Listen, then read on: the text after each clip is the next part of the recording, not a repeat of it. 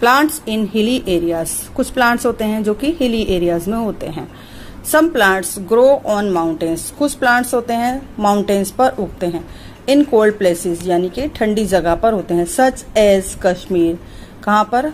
कश्मीर में, ऊटी ऊटी में एंड हिमा, हिमाचल प्रदेश और हिमाचल प्रदेश में होते हैं।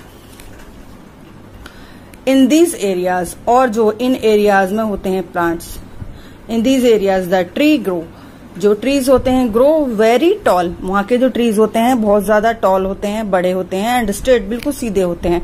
Many of them have needle like leaves and उनकी कुछों की लीव्स जो होती हैं, वो निडल की तरह से बिल्कुल तीखी होती हैं, पैनी होती हैं. बियर कोन्स और जो कि कांटों की तरह से होती हैं, कांटे से उगते हैं. इंस्टीड ऑफ़ फ्लावर्स उसके अंदर फ्लावर्स नहीं होते हैं. एग्ज़ाम्पल एग्ज़ाम्पल पाइन जैसे कि पाइन ट्री हो गया देवदार ट्री हो गया और स्प्रूस और फर एक्सेट्रा ये ट्रीज ऐसे होते हैं जो कि डेकोरेशन में वर्क करते हैं. यानी कि इनको हम डेकोरेशन के काम में लाते हैं यूज़ यूज़ करते हैं.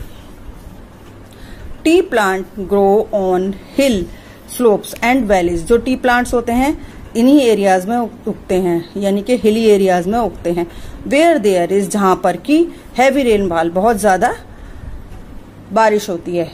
Assam and Darjeeling are the main tea growing regions of our country जो असम है Darjeeling are the main main tea growing यानी कि बहुत ज़्यादा मुख्य टी यानी कि चाय उगाने वाले रीजन्स हैं हमारे कंट्री में। आसाम में और दार्जिलिंग में सबसे ज़्यादा टी प्लांट उगाए जाते हैं। Next is plants in coastal areas the area near the sea is called coastal area जो समुद्र के पास एरिया होता है, उसको क्या बोलते हैं? कोस्टल एरिया बोलते हैं। प्लांट्स इन कोस्टल एरिया, यानी कि जो प्लांट्स कोस्टल एरिया में होते हैं, यानी कि समुद्र के पास होते हैं। The area near the sea is called coastal area. जो समुद्र के पास का एरिया होता है, उसको हम बोलते हैं coastal area. In this area इस एरिया में वाटर इज़ सॉल्टी यानी कि जो वाटर होता है, बहुत ज़्यादा सॉल्टी होता है। And the climate is usually humid जो क्लाइमेट होता है, वहाँ का मौसम बहुत ज़्यादा ह्यूमिड होता है, यानी कि गर्म होता है। सम प्लांट्स लाइक कोकोनट कुछ प्लांट्स जैसे कि कोकोनट टीक ट्री टीक के ट्रीज होते हैं ग्रोज इन दिस एरिया इस एरिया में ही ग्रो करते हैं। They are known as evergreen trees उन ट्रीज को हम क्या बोलते हैं? Evergreen trees as they do not shed जो कि अपनी, जो शेड नहीं करते हैं, अपनी लीव्स को। They do not shed their leaves और अपनी लीव्स को नहीं शेड करते हैं, नहीं गिराते हैं।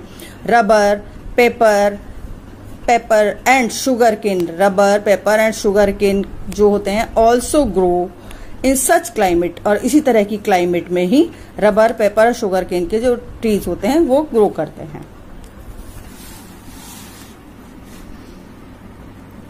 नेक्स्ट है आपके प्लांट्स इन डेजर्ट जो प्लांट्स डेजर्ट में उगते हैं। जस्ट लाइक like, uh, नहीं। Different types of cactus these trees grows in desert ये ट्रीज जो है डेजर्ट में ही ग्रो करते हैं। Plants in desert some plants grow in desert कुछ प्लांट्स जो है डेजर्ट में ग्रो करते हैं। Where where very little water is available जहाँ पर कि बहुत कम पानी होता है। These plants use very little part water ये प्लांट्स जो होते हैं, बहुत कम पानी में सर्वाइव करते हैं, बहुत कम वाटर यूज़ करते हैं and also store water in their stems और जो वाटर भी यदि मिलता है तो उसको अपना स्टोर कर लेते हैं स्टेम्प्स में। They do not lose water और वो वाटर को लूज नहीं करते हैं, और अपने अंदर स्टोर कर लेते हैं। Because their leaves are very small क्योंकि उनकी लीव्स होती हैं बहुत ज़्यादा छोटी होती हैं और स्पाइनी होती हैं और स्पाइन लाइक और स्पाइन में कांटों की जैसी कटीली होती हैं जो उनकी लीव्स होती हैं।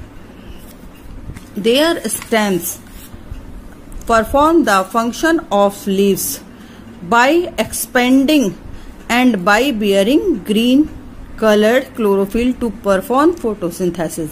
Example, cactus. जो इनके स्टेम्स होते हैं, पत्तियों को का काम करते हैं और ग्रीन कलर क्लोरोफिल का वर्क करती हैं। फोटोसिंथेसिस में। Example cactus